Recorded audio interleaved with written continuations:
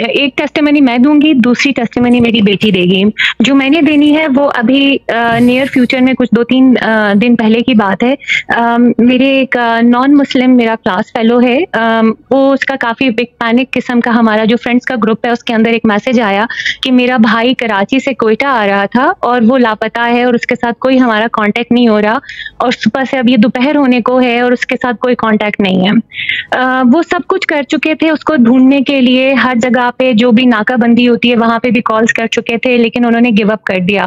फिर मैंने उसको ग्रुप में एक मैसेज किया कि तुम 19 टाइम्स बिस्मिल्लाह पढ़ो और दुआ करो कि तुम्हारे भाई की तरफ़ से कोई खैर खबर तुम्हारे लिए आ जाए। आ, उसने किया 19 टाइम्स बिस्मिल्लाह उसने पढ़ी और आ, मैंने उसको कहा भी कि इससे कोई फ़र्क नहीं पड़ता पढ़ो और दुआ करो। उसने आ, दूसरी दफ़ा फिर दोबारा 19 टाइम्स बिस्मिल्लाह पढ़ी और दुआ की।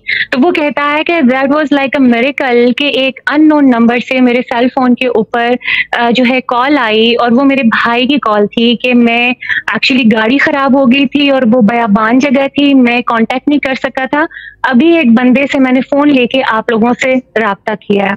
तो ऑन हिज बिहाफ मैं टेस्टमोनी दे रही हूँ कि बिस्मिल्लाह 19 टाइम पढ़ने से टू टाइम यानी दो दो दफ़ा पढ़ने से उसके भाई की खबर आ गई जो पिछले सात आठ घंटे से लापता था।